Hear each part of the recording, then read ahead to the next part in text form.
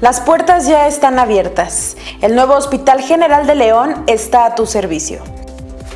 Los 40.000 metros cuadrados que tienen las instalaciones en San Carlos tendrán capacidad para atender a todos los guanajuatenses y foráneos. No, bueno, este cambio pues, ha sido muy bueno. Tenemos áreas más grandes, tecnología muy buena, actual, sofisticada, que vienen a la vanguardia pues, a este hospital y lo que nos hace pues, es mejorar la calidad de nuestra atención hacia los pacientes. Vamos a tener más capacidad de recibir a todo el estado de Guanajuato, entonces vamos a poder apoyar al resto de hospitales generales de aquí del estado.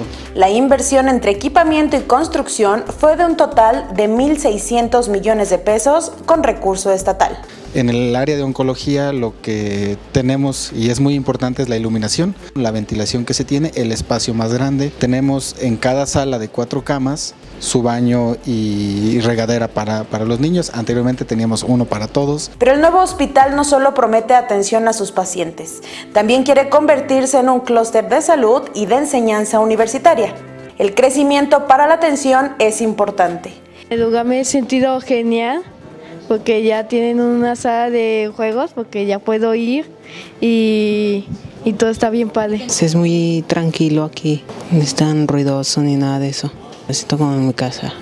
600 espacios de estacionamiento, 50 consultorios, 15 quirófanos. La atención a neonatos en Guanajuato, a decir de las autoridades, es la única que cuenta con incubadoras Baby Leo, que es lo más cercano al vientre de una madre.